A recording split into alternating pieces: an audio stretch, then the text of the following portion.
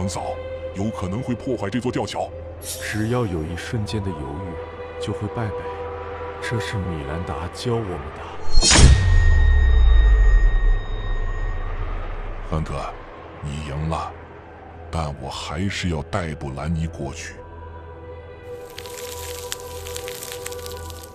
对不起了，你们狼人都是卑鄙的家伙。不是吧，猎人叔叔？眼前的这个狼人将猎人叔叔杀死了。他靠过来了，他的眼睛为什么还是黑色的？我应该逃跑吗？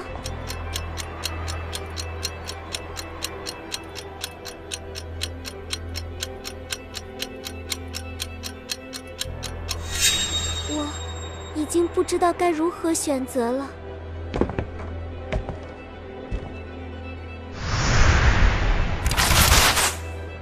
什么情况？马克叔叔中箭了，我到底应该松一口气，还是应该悲伤？还好赶上了，小红帽，快回来！布兰妮，趁我还有最后一点理智，快过去！小红帽，那个狼人现在很危险，别往前走。这一路，我和马克叔叔经历了那么多，我不能在这里退缩，我得去吊桥对面。小红帽，你再往前走一步，海伦的麻醉刀就要过来了。我还有一颗烟雾球。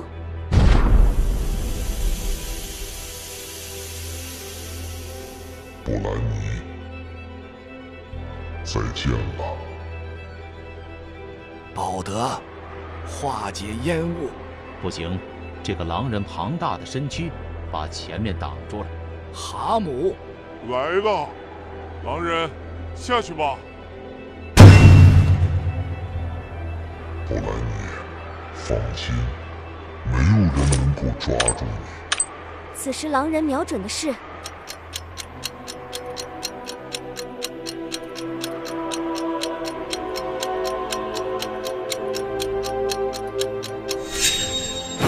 用最后的力气割断了吊桥，而小红帽刚好跑到了吊桥的对面。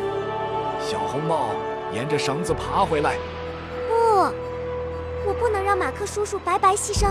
否则我们就把你的妈妈也推下去。